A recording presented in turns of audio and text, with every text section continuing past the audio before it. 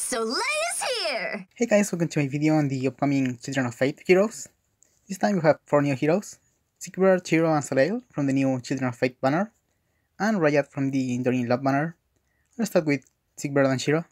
These two are very interesting, they have a lot of parallels. Siegbert is an offensive sword cavalry unit, while Shiro is, an, is a defensive lance infantry unit. Both have very high attack, Siegbert also has very nice speed, while Shiro has very high defense. Siegbert's legendary weapon is Dark Greatsword, which gives him plus 4 attack and speed when attacking, while Shiro's legendary weapon is Bright Naginata, which gives him plus 4 attack and defense when attacked. Shiro's A skill is Steady Stance, which gives him plus 6 defense when attacked, while Siegbert's A skill is Death Blow, which grants plus 6 attack when attacking. Finally, their C skills are both new.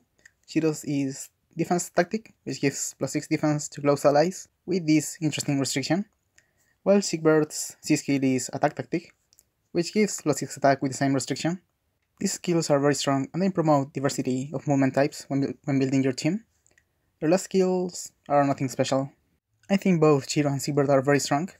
With his base kit and neutral stats, he can reach 61 attack and 39 speed when, when initiating combat. On the other hand, Shiro reaches 45 defense when attacked, which is great in a quick riposte build.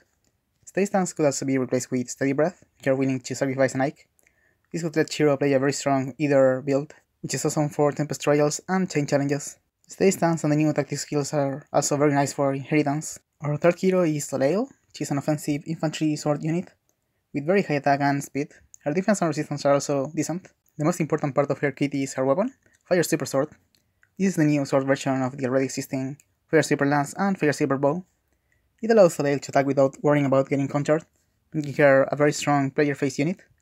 The drawback is that it doesn't let you attack on the enemy's turn. Soleil's A skill is Sturdy Blow, which is actually great with her weapon, but can be replaced with Life and Death or Swift Sparrow if you have the resources.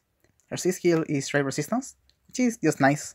Finally, Soleil's special is Blazing Wind, which is not that good really. Soleil is my favorite unit from this banner. Her super weapons are really strong and her stats are very high.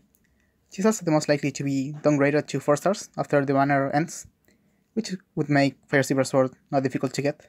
Our last hero is Rhajat. She'll come in the Enduring Love banner along Priscilla, Faye, and Tharja. She's an infantry green mage with nice attack and speed, her resistance is okay, and her defense is pretty low. Her weapon is Keen Gronnwolf, which is effective against cavalry units, and it's new to the summoning pool. Her A skill is Distant Defense. This alone makes Rhajat an awesome fodder unit, her C skill is Savage Blow, which is not really exciting, as it is already Camilla's 4 stars skill.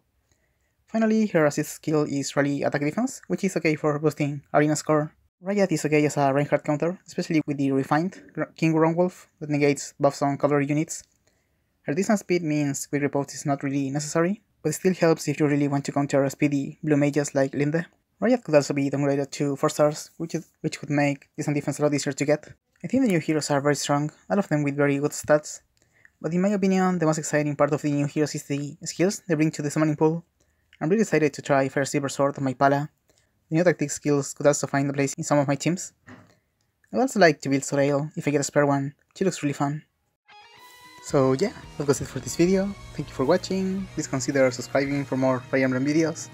I hope you enjoyed, and see you next time, bye!